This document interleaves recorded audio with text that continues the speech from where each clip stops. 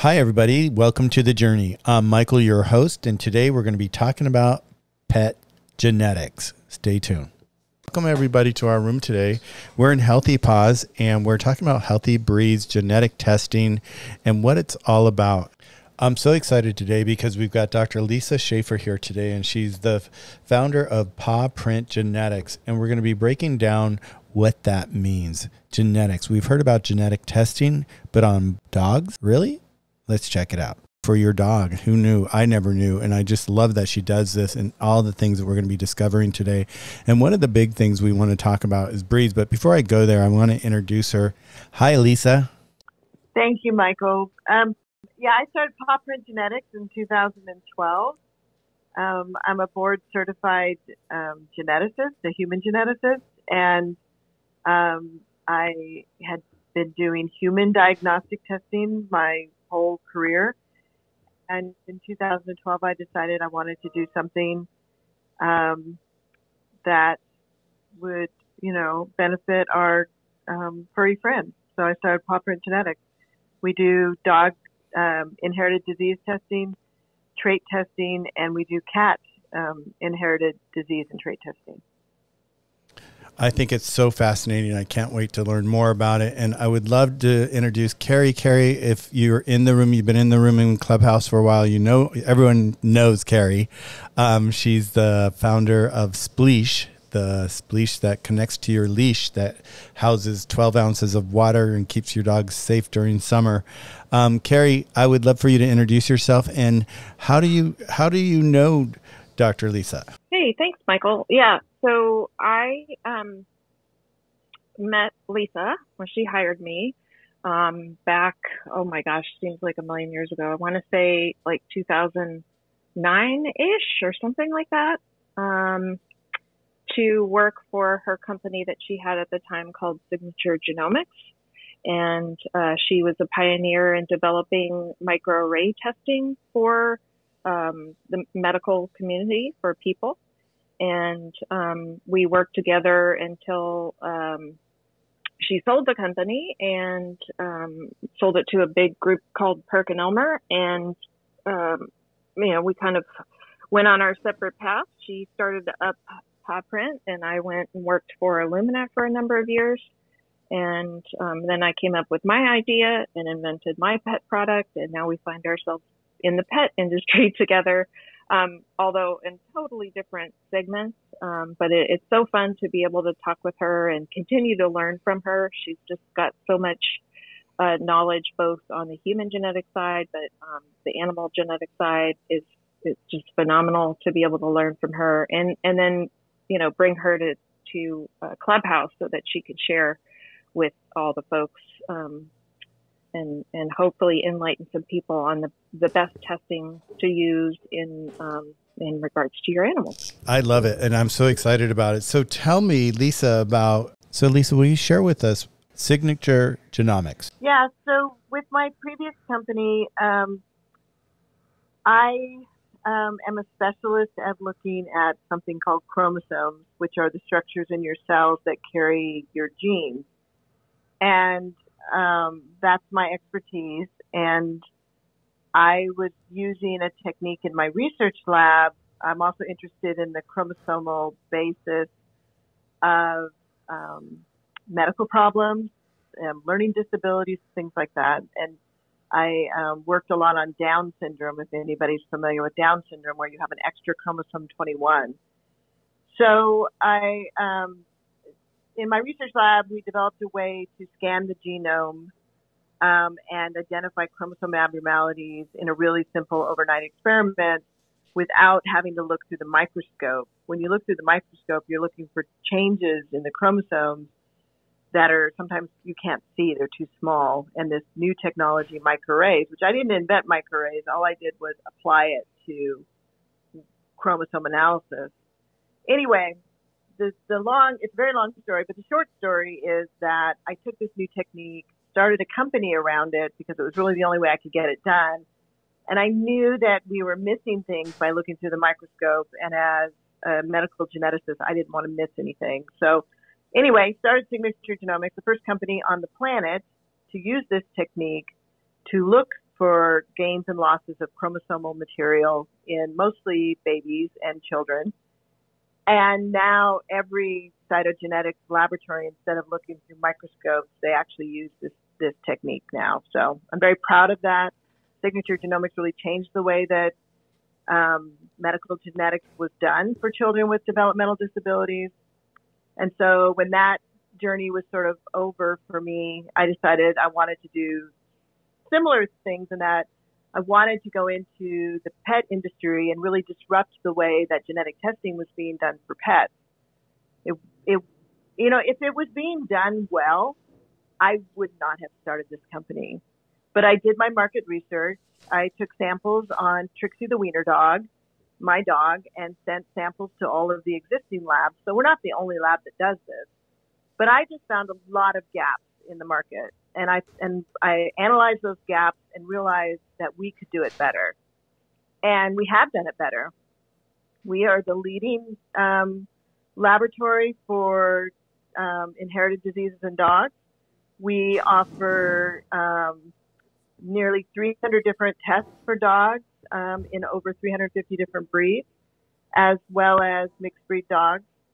So um, I'm again very proud of my group. A lot of the people that worked for me at Signature Genomics work for me now at Pawprint Genetics, and um, we're just doing great things in the pet industry. We've really changed the the way that people are viewing um, disease testing in dogs because um, it just I don't know. It's hard to explain, but it just wasn't being done very well. You know, you had a few tests in each of the different laboratories, whereas DNA DNA. We just do it all. So anything that you need done in your dog regarding inherited diseases or inherited traits, we do it. And so we have the largest menu and we have the gr- best customer service. We actually answer the phone when you call us. And so it just really was, um, again, kind of disrupting this marketplace that was actually quite old. A lot of these other laboratories have been around for 20 or 25 years. And here we were, the new kids on the block, and we basically just came in and said, you know what? This is the way it needs to be done. Great customer service, high accuracy, and a large menu. So no matter what you need done on your dog, whether you're a breeder, you're a concerned dog owner, or you're a veterinarian, you can find that at Pawprint Genetics. When people like, I had no idea that Paw Print Genetics existed until last week. I had no idea you existed until I jumped into your room with Kerry a couple weeks ago, and I was so fascinated about what you do. When you left your last job and you decided that, like you're saying, that there was not a lot of, let's say, uh, integrity with the other companies, and you saw the missing link there, and you thought, okay, this is something I want to get involved with was pets always on your mind or was just you just happened on it so when i was so i was at baylor college of medicine in houston for almost 12 years and then i obviously was at signature genomics for a number of years and i occasionally got to do some cool cases from the san diego zoo where they had some maybe a primate that was born with birth defects and they wanted us to look to see if there was a cytogenetic abnormality and those cases were always super fun. And we did make diagnoses, which was cool because we're providing information back to the zoo. They, they asked a question and they want an answer. And, you know, even if sometimes it's a sad answer that yes, we found that the, the chimp or the gorilla had a chromosome abnormality, at least now they have an answer for why the baby was born with problems. So, um, I, so I wanted to work with animals on my next you know, my next adventure. Um, I really enjoyed human health, but human health is, is become more and more difficult with reimbursement and you got to get paid so that you can pay your staff. And I decided, you know, let's do something, you know, different and fun. And I, and zoos, as much as I love working with zoo animals, they, zoos don't have the money to pay either. And again, I have to pay my staff, right? So what could I do that was interesting and still in genetics and would make a difference. And so that's why I decided to go into companion animals. But again, only after doing my market research and realizing that there were a lot of gaps in the current industry that really needed to be filled and we had the expertise to fill them. You know, with our experience in human genetics and how human genetic testing is done and how human genetic results are reported back to hospitals and doctors, we realized that we could have very high accuracy, which was lacking in the marketplace, and better communication with customers because honestly, you know, one of the tests I got back on Trixie, I got an email that said carrier.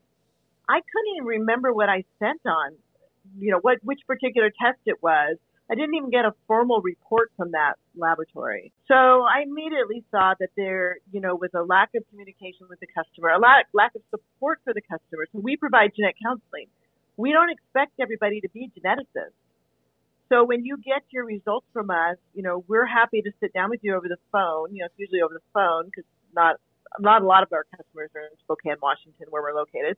But we'll talk to you over the phone or we'll correspond with you via email because our testing just doesn't stop with the results. It's really, really important to us that you understand your results and how to use those results, whether it's taking the report to your veterinarian so that your dog can be treated appropriately or using those results in your breeding program to avoid producing puppies with diseases.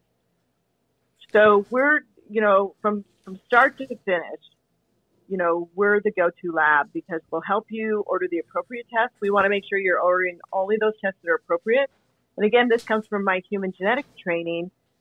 We would only do testing in, in babies and children if the test was appropriate for their clinical condition. And I feel the same way. You know, I'm not going to do, you know, a Yorkshire Terrier panel on a Labrador.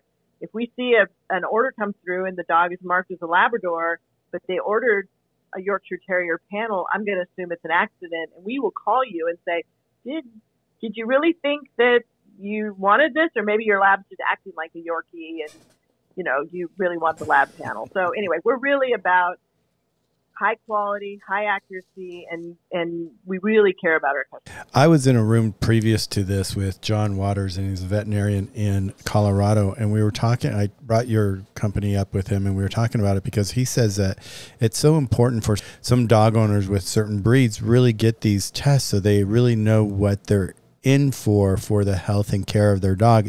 And you mentioned Labradors, and he mentioned Labradors too because they're so prone to hip issues and joint issues and all that. How often are you seeing now? Do you have since you started your company?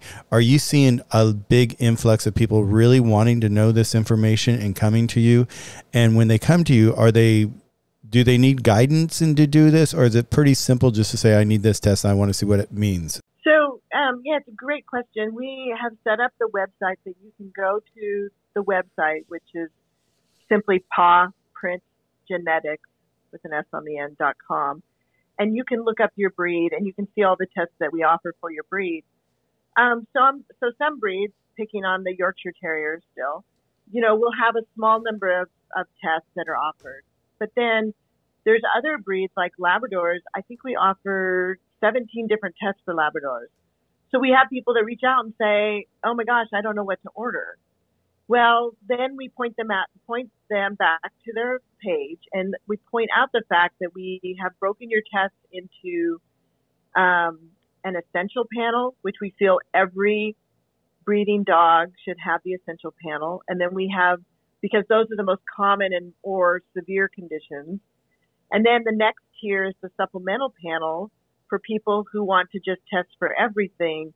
And then we'll even in some breeds have a, have a third tier, which are additional tests, which are not as common in your breed, but we want to have them on your breed page in case your veterinarian sees a dog and the dog has one of these really rare conditions. They can find it easily on that breed page. So some breed pages like the Labrador Retriever, they have a lot of information, but most people just order either individual tests because those are what concern them because they know their their dog's history, or they'll order the essential panels. Um, and so we've tried to make it really easy, but then we do get people who email us and say, I have a standard poodle and I don't know where to begin. And then we, you know, we'll talk them through it because we really only want to sell to you what you need. And so we don't say, oh, just order everything on that page. We never say that we ask questions. You know, well, what are you looking for? What is the purpose of the testing?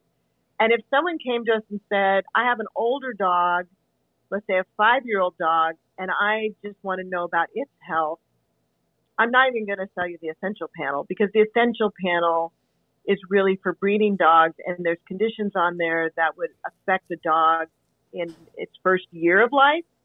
And so if your dog is already now five years old, don't order those tests because your dog is beyond the age that they would be affected with those diseases. So again, we help you, you know, figure out what you need because again, we only want you to order what you need. And so in that case, I would recommend tests for older dogs, such as some of the eye conditions that are late onset blindness, where a dog can go blind later in years. Um, but I would not recommend the, you know, the tests that occur in the first year of the dog's life. So things like that. So we really help the customers figure out what they need to order. Um, but some people like to do it themselves. And so if they go to our website, they can read and they can figure out also on their own you know which things they want to order. I did the 23andMe genetics, and I know we. I heard you talk about this, and I want to bring this up as well. Is I did it because uh, people always ask me like, "What are you made of? What's your background?" And, they, and I didn't know. I didn't know who my grandfather was on my mom's side, and there was a couple of missing elements here and there. So I didn't know. So I did the 23andMe because I wanted to know what I was made of we were talking, you and I were talking about, and you have a term for this because this is really not what genetic testing is about for your company and your mission and what you see. Because you see, like you mentioned, other companies do. What do you call the word? What the term is? Entertainment genetics. Entertainment genetics. Do you want to talk about that a little bit? Because I think a lot of people have that misunderstanding of like why they would be getting a genetic test, or maybe because this is new to me, maybe I have that misunderstanding um, is why would I need it? Now that we've been talking, I see that if I had a Labrador, I definitely want to, after talking to Dr. John, talking to you, I do want to see where my genetics are in my Labrador and if there's anything going on that I need to look at for the future. So let's talk about entertainment genetics. What is entertainment genetics? Yeah. So, yeah. So starting, let's talk about 23andMe for a minute. Um, I think you know, it's a great test if you want to get that handful of health conditions that they test for. But when I got my, because I did 23andMe as well as a science project for one of my kids, and when we got our results back and it said that my favorite ice cream was chocolate, well, I could have already told you that, right? And you don't need a genetic test for that. So that's the sort of thing that I think is entertainment genetics. Um, and in a sense, breed identification is also entertainment genetics. For anyone who's done breed identification and the results come back and you're like, huh, yeah, okay, I can see the beagle and I can see the Labrador and yeah, I get, yeah, I get that those ears look like Chihuahua. But then when you get a result back where you're pretty certain your dog is 100% Labrador and it says, you know, it's 20% Husky and, you know, 15% Afghan hound, you're like, mm, I don't think so. I think I just wasted my money. And that's the problem is um, these breed identification tests, they're fun. I mean, they're fine to do. They make great cocktail conversation. It's just that you don't want to make any health decisions based on that. And some companies are, are saying, you know, learn more about your dog because if you know what breeds are made up in it, you might buy different dog food. You might you know, exercise them more. And honestly, every dog needs high quality dog food. Every dog needs exercise. Um, and what you really want to know, are there any health issues that were inherited from the parents that are lurking in my dog's DNA that I can actually be proactive about? So an example is my dachshund Frankie, so if you haven't figured it out yet, I have dachshunds. so Frankie and Trixie are dachshunds, and Squeegee. Squeegee's my new dachshund. Cute. And um, yeah, um, and um, Frankie was found to have two copies of a recessive. So you have to have two copies of recessive to be affected with a eye disease that's affecting the retina, which is the back of the eye eventually she's going to go blind. And this is really good information to know. I mean, I don't think anything different of Frankie other than I, actually that makes me love her more and want to protect her more. And I also want to make sure that when she starts losing her eyesight, that I recognize this, that it's not something else that's going on with her. And she does go to the ophthalmologist now every six months because I know about this problem. So doing health testing can help you be very proactive about your dog's health. And there's some, so this particular retinal eye disease is not treatable, but there are lots of genetic diseases that are treatable. And knowing that and knowing that you can now have a discussion with your veterinarian and you can actually put your dog on, you know, um, certain uh, vitamin therapies, like something like cobalamin malabsorption. They need to take the B vitamins, um, things like that, where you can be super proactive about their health. Um, and for things like, you know, Frankie's eye disease, there's other diseases that are, are, occur that are inherited that occur in old age. You may not be able to do anything about it other than recognize that the dog is starting to show symptoms and then have a conversation with your veterinarian on how you can make your dog more comfortable for the rest of their life visiting with Dr. John, and I'm so excited that I had the room prior to this room with Dr. John because we talked about this, and he and he was so adamant. He works with dogs with orthopedic issues, you know, and he was talking about how important it is to be able to get these tests and have them in front of you. Exactly what you're talking about, Dr. Lisa, is that that way it sets you up and sets your dog up to win because you already know what's the you know a potential future issue that's happening. And he going back to labradors he said the big thing is like labradors have a lot of hip issues. And if you have these tests you can immediately understand that your dog is going to somewhere down the line need additional help or assistance with his hips. And there are things that you can do before that happens that will lessen that issue potentially from coming on even if you really take care of of your dog. So I think these tests are just, to me, it's just so, it's the wave of the future. It's where we're going. It's like stem cells. The way we're going, eventually everything's going to be stem cells. But just being able to see these markers, identify them in your own dog are so important. Kerry, really quick with Dr. Lisa, you went to work with Dr. Lisa for a while. What, what was your part in the whole um, system?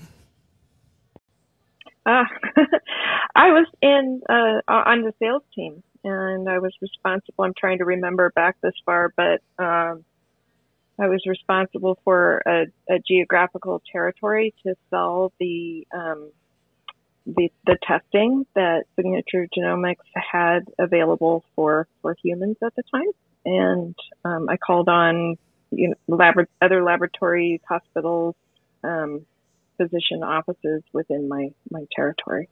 Well, and with that background and that knowledge, and knowing what Dr. Lisa is doing today with the pets, do you see that that's going to be such an easier position to be in with the pets now because of the way I've learned here on Clubhouse how much people are paying attention to their pets, how much they want to know about their pets, and how they want their pets to be set up to win. Do you see that instead of having going to these doctor's office, that with Dr. Lisa is now embarked on this incredible journey and that's you know hello the journey michael the journey. Um, and that's why i wanted to know what your journey was dr lisa. Do you see that that's a whole different world and it's just is such a it's it's a fun world to work in?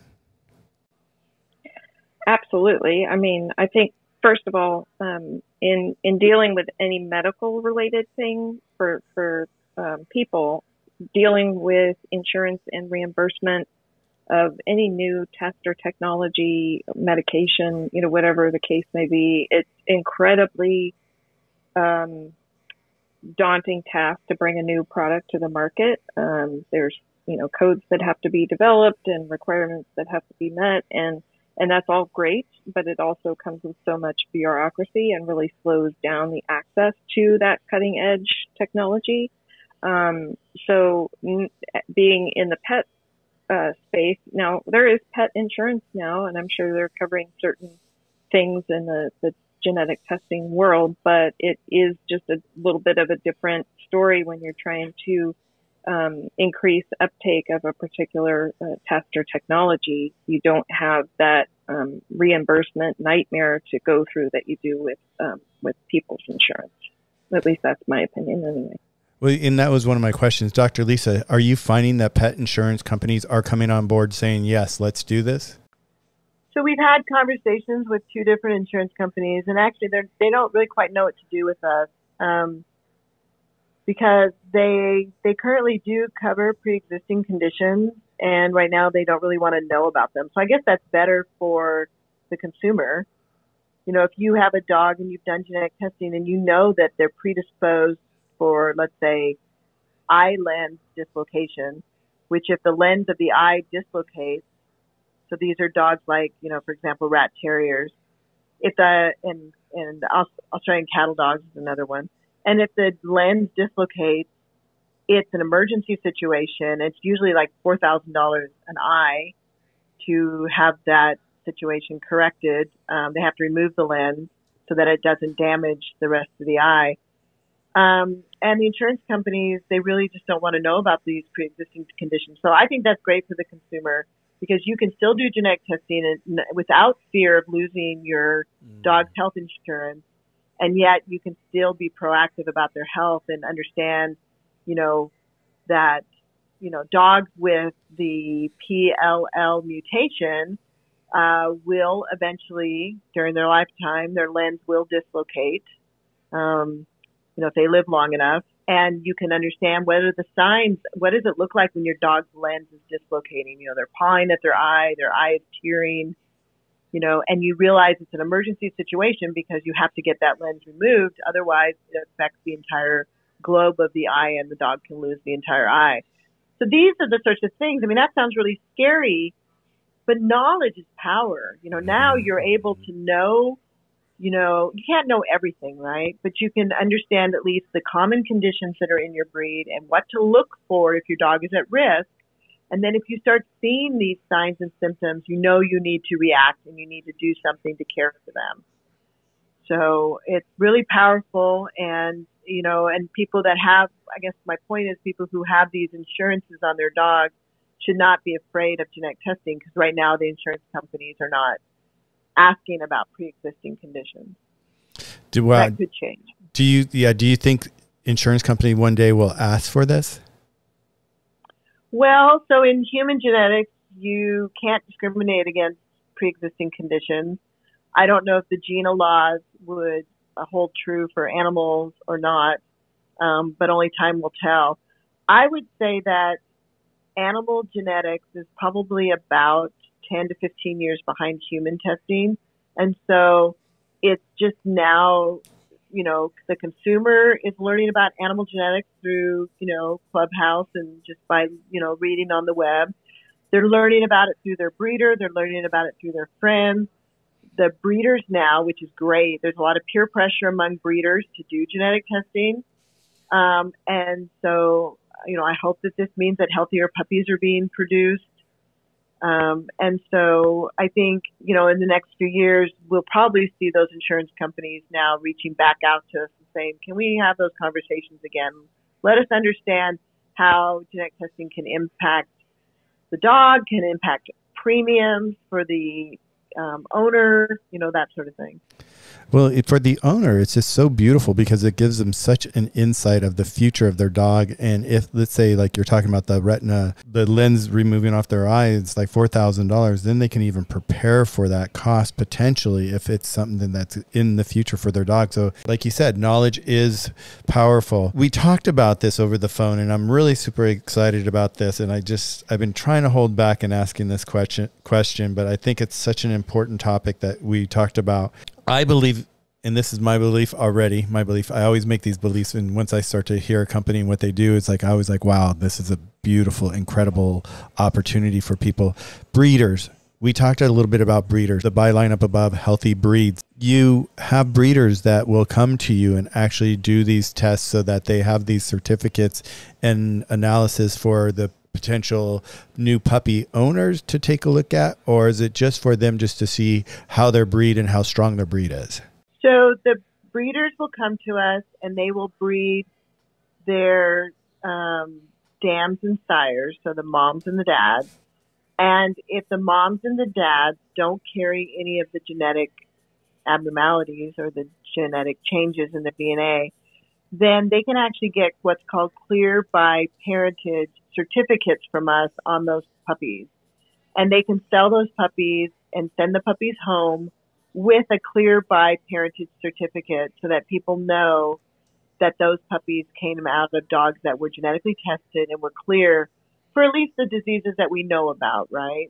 And a good breeder is going to also send home a contract where, you know, they guarantee the health of the puppy for some certain amount of time. So it's our Clear by Parentage program.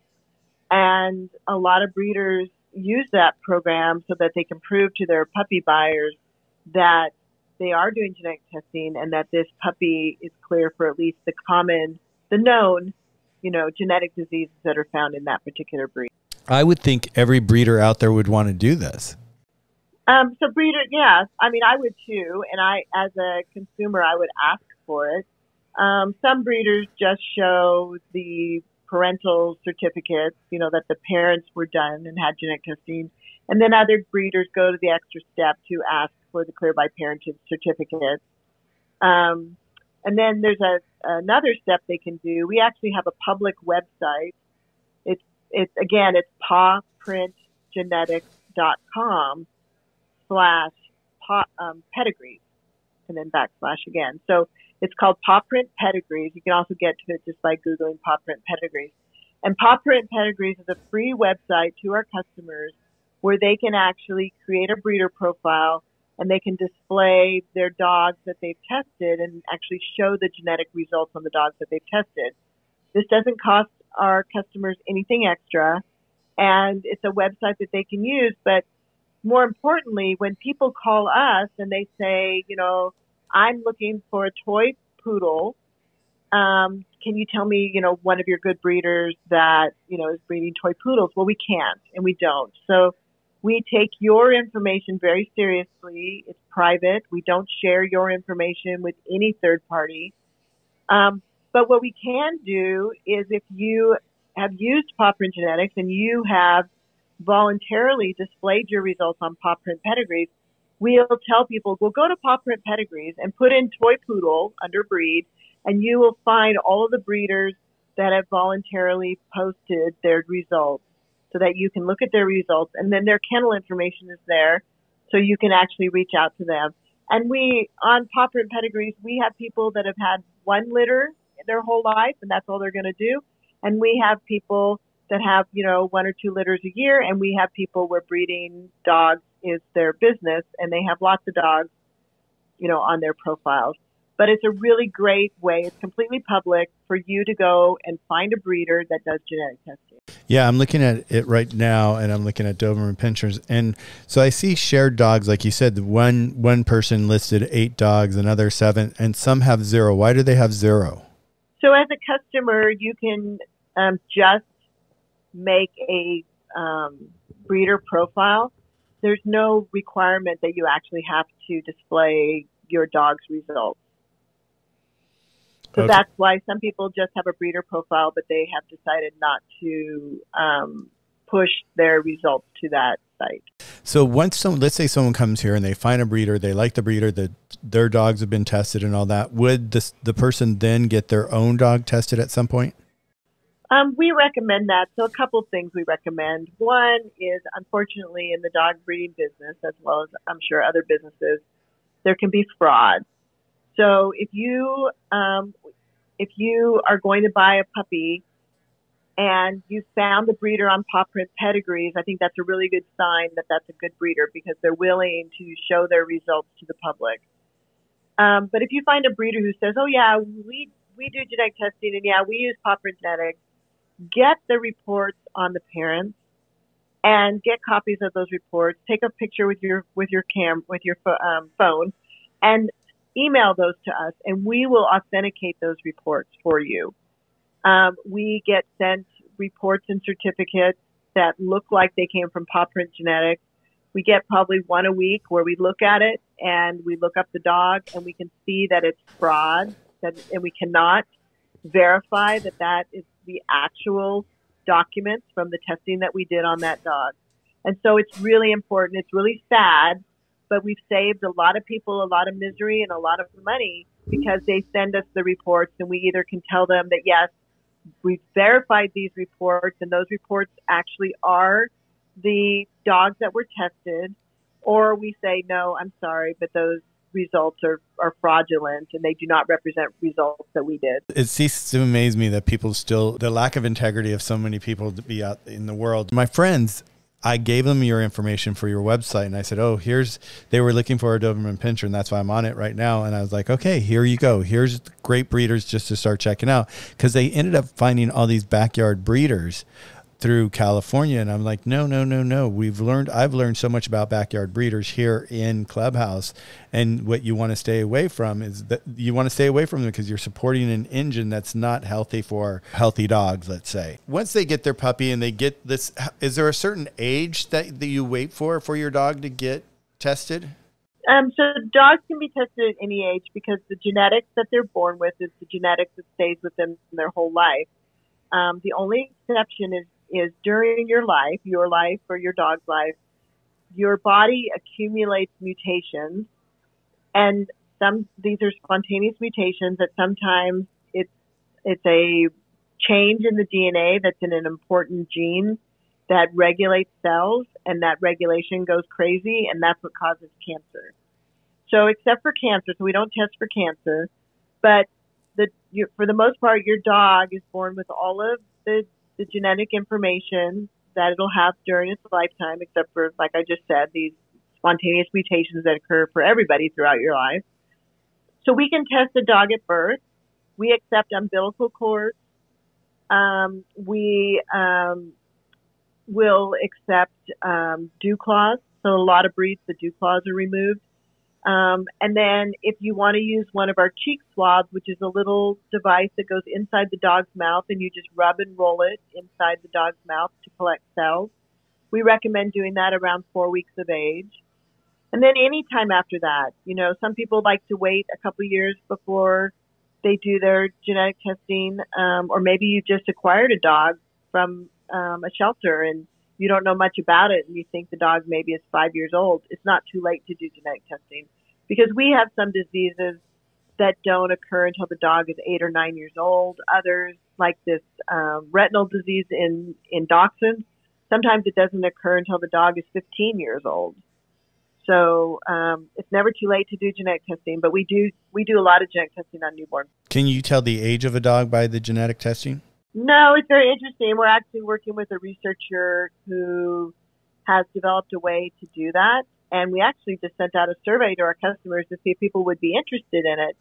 And um, it was, as you can imagine, all over the board. Some people are like, nah, I don't care. And some people are like, yeah, I would order a test to see how old my dog was.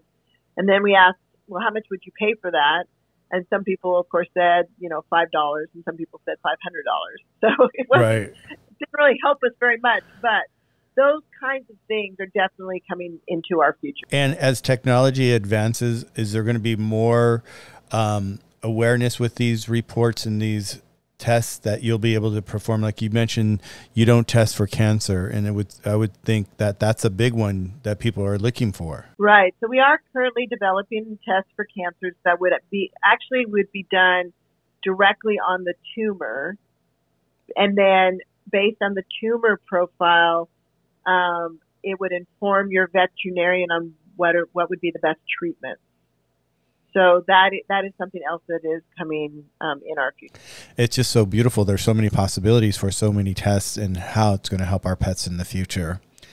In business, I believe they call your company is a disruptor to the industry in the sense that you're really making a difference in what you're doing and bringing such an added value to pet parents around the world. Are you? I'm sure you service animals around the world, right? Um, yes, we we have gotten dogs um, sent to us as far away as Hong Kong and South Africa. and we get lots of not the dogs, sorry, the samples.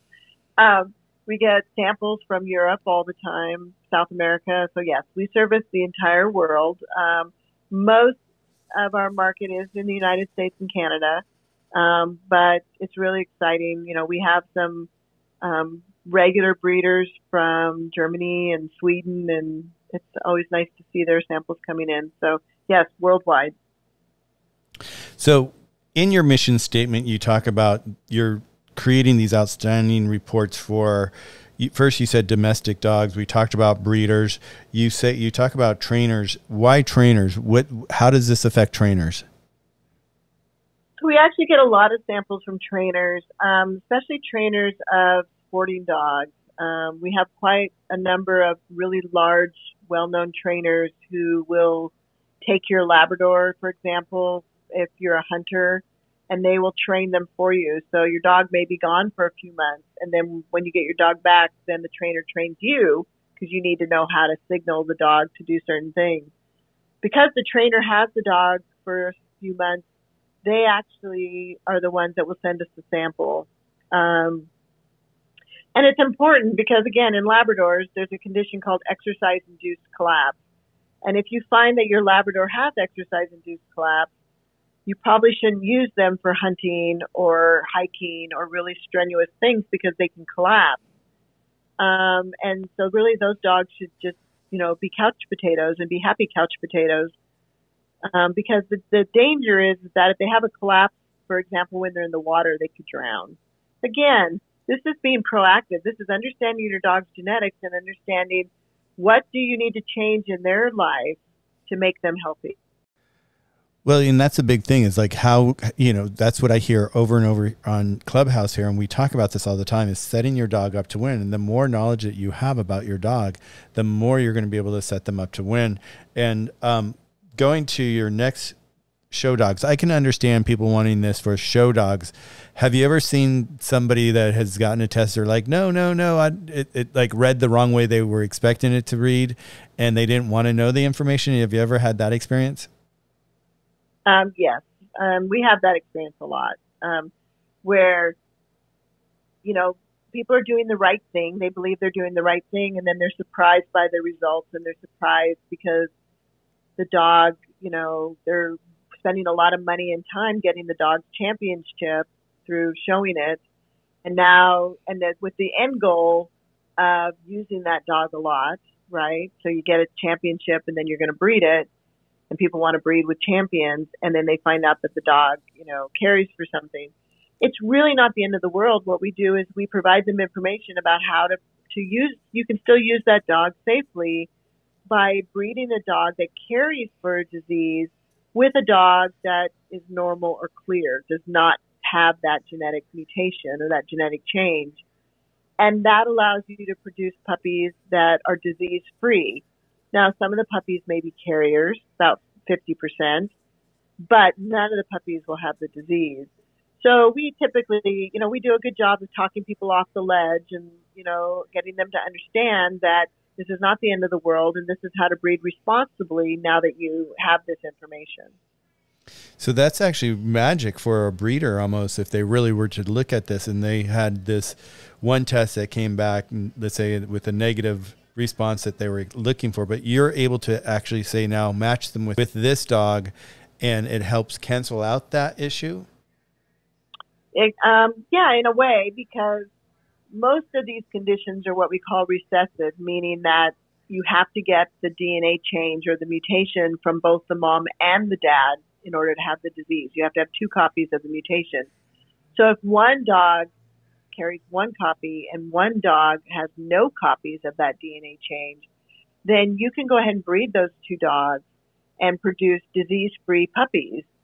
Um, but about half of the puppies will be carriers. So that's why we do a lot of litter testing. You know, the puppies are born and they want to know which puppies carry the further disease and which puppies are clear or normal because a lot of times for their breeding, they want to keep back a normal dog. So that's how you can get rid of genetic diseases in your breeding program is you go ahead and you breed the carrier to a normal dog, to a clear dog, and then you keep back a normal or clear puppy that doesn't have that disease, doesn't carry for that disease.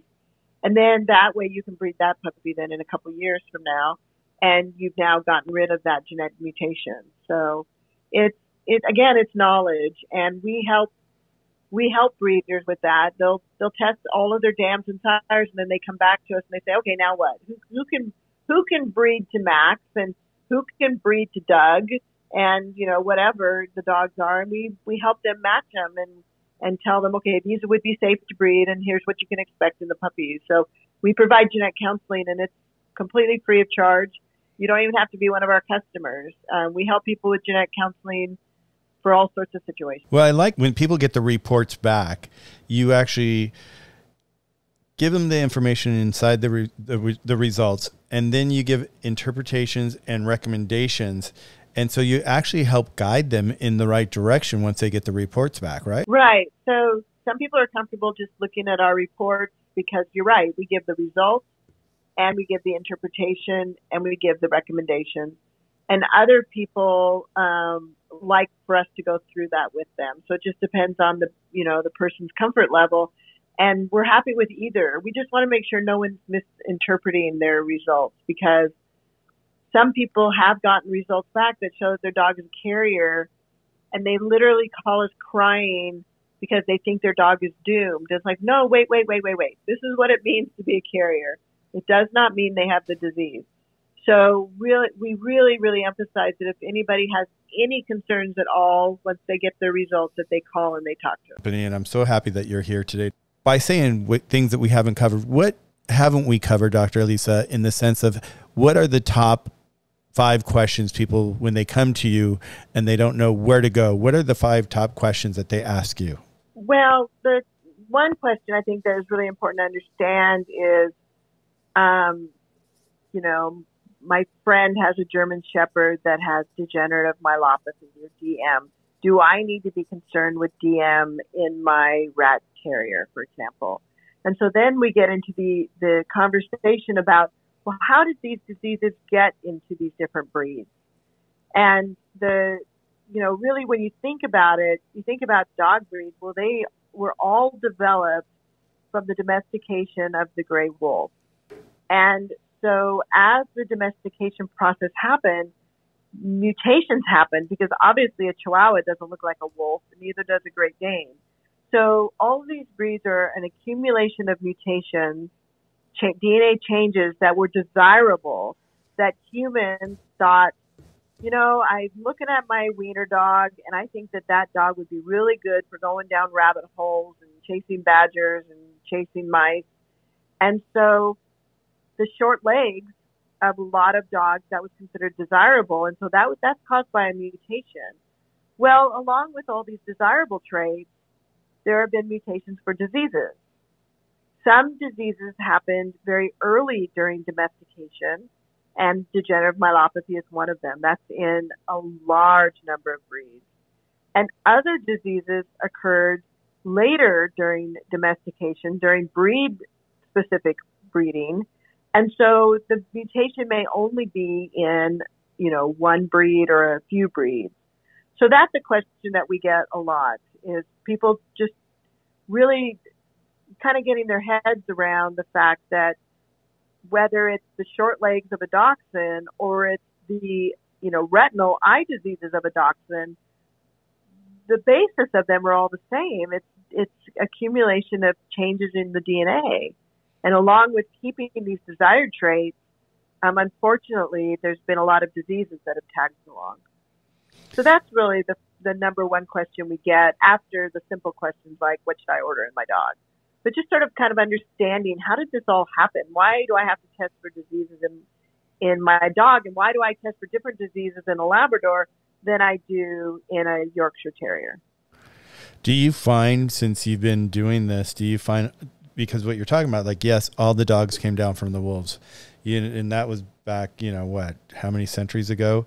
Um, do you find that you'll see in different breeds the same strain of deficient or issues that show up in their DNA testing? Like, you're like, oh wow, these I never knew that these two dogs were kind of connected in in this sense. Does that make sense?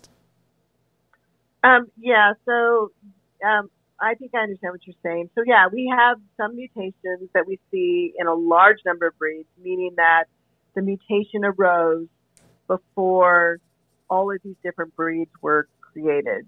And then we have mutations that are found in similar breeds.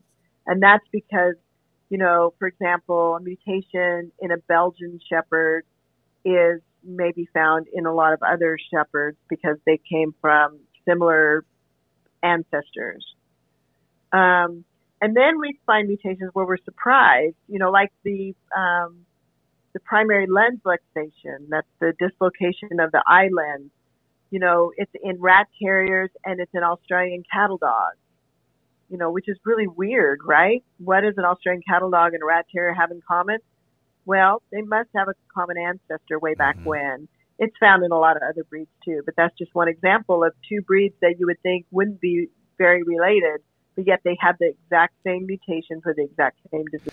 What do you think about when people are still like breeds came from people taking two dogs and putting them together and they created a new breed and we see a lot of that like with golden doodles do you see when people are still doing this with dogs do you see that their mutation levels are higher because they're coming from two different breeds um, so with the with the design we call them the designer breeds but um, yeah so like with the golden doodles our recommendation is that you do both the the disease testing for the golden retriever and you use the disease testing for the poodle, whether you're doing using a, you know, a miniature poodle or a standard poodle. And so, and that's all on our website. So you can actually look up golden doodle and you can see that for the various doodles and other, um, you know, breeds that are being created from purebred dogs, their lists are long. And the good news is, is that we have a lot of golden doodle breeders and we have a lot of labradoodle breeders that use us and they're spending a lot of money and that's not the good news. The good news is they care. So, you know, it's really, it's costing the designer breeders a lot more money than it is your average Labrador breeder or your average, you know, Scotty Terrier breeder because these doodles, you have to test for both parent breeds. So you have to test for both the golden retriever and for the poodle. And it's expensive, but they're doing it. And that I, I applaud them. I think it's fantastic. Wow, designer breeds, I never knew. Um, and I love the fact that with a designer breed that you do have to do both sides of the genetics. That makes so much sense you have to do the golden retriever poodle as well for these designer breeds. I never understood how that would work, but that's interesting how that actually works. And it's nice to know because if you, you have a designer breed, you need to look at both of those breeds. Kerry, is there anything that you've been listening to that's jarred a question for you or something that I haven't asked? Yeah, actually, I was just curious to see from Lisa um, what she thinks is the next big thing in um, genetics that's coming for for the companion animal market? So I think definitely, you know, we've touched on a few of them, but I think um, understanding cancer in dogs and being able to provide genetic testing for dogs for either improving their treatment or even identifying the um, inherited risk factors for cancer. You know, we know that certain breeds, such as golden retrievers and Bernese mountain dogs, have a really high rate of cancer. They don't live as long as other dogs. And understanding that, I think, is going to be really important in the future. Um, and then there's a lot of research now being done on behavioral traits.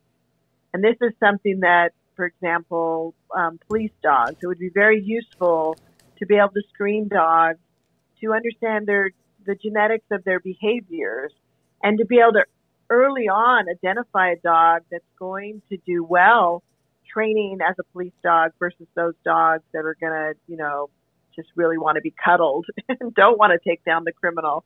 Um, because a lot of it's really expensive. We work a lot with a lot of canine departments, and it's really expensive. And when those dogs flunk out, you know, it's thousands and thousands of dollars and, and you know hundreds of hours that have been put into those dogs, and they do flunk out. And so being able to do genetic testing for behaviors, I think, is another thing that's going to be really important in the future. How close are you for that? Well, we're not doing the research, but there's more and more articles coming out where they're identifying genetic changes that, you know, seem to be associated with certain behaviors. Um, researchers are tending to um, concentrate on things like aggressive behaviors versus trainability. Um, you know, and we know that certain dogs already inherently, you know, they they they're easier to train. That's why Labrador retrievers and golden golden retrievers are really good guide dogs. and that German Shepherds and Dutch Shepherds make really good police dogs. The Malinois make really good police dogs. But, um, you know, that's sort of where people are concentrating both on aggression and also, you know, trainability. Because again, the uh, seeing eye dog programs spend a lot of money on breeding dogs again and they they're hoping that they don't flunk out but when they do you know it's cost them a lot of hours which is you know money and, and time wow we've covered so much today and just about the future like the behavior part just makes so much sense especially because we talk to so many trainers right now and that with this pandemic and there's been so many issues with the change of behavior. Just when you were talking about it, I just had this question, and I don't know if you can answer this or not. Does with like the behaviors, like does stress cause that mutation in dogs? Can that be a factor in the behavior? No, but I think that environment can um, elicit certain underlying behaviors that wouldn't ordinarily come out. So, for example, I, you know, every dog probably has its wolf tendencies, right? To bite. Um, and if the dog is nurtured when it's a puppy, it doesn't have those tendencies. Whereas if a dog is abused, then it may become a biter. But then on the other hand, you have dogs that they're just biters. And that again is probably in their DNA. So you're talking to a geneticist, and I think everything is inherited, and I think everything's in our DNA. So, you know, whether you prefer math versus painting is completely in your DNA. So these are things that, you know, eventually as we understand the dog genome more, we'll be able to, you know, address these behaviors, um, whether it's to provide better support for trainers or identify dogs that perhaps are a danger to, you know, their owners or even to themselves or the other dogs in the household. What a fascinating room today we had with Dr. Lisa and genetics. I'm Michael, your host today, and I've got Kerry here, and I've got Dr. Lisa with Paw Print Genetics, and it's such a fascinating part of our puppy life and our dog life. That's I love that you're here. I love what you're doing. I hope that I can help spread your mission across Clubhouse as I go through it with people because I've fallen in love with just this idea of being able to like really be able to understand our dogs from day one and get ready to set them up to win and set us up to win to what to expect too. So I just think what your mission is and what you're doing, your vision, Lisa, is just fascinating and just incredibly beautiful that you're just being able to give yourself into the dog community like this. And you made the pivot. You that's your journey. You made the pivot from the humans to the pups. And I see that all the time. And that's why I named the YouTube channel The Journey because I hear this so often that everybody started in some form of a human side of life, and all of a sudden they made that bridge, and you've done it successfully here, and you just offer such a great service. So I want to say thank you so much for being here. Thank you so much. Thanks, everybody.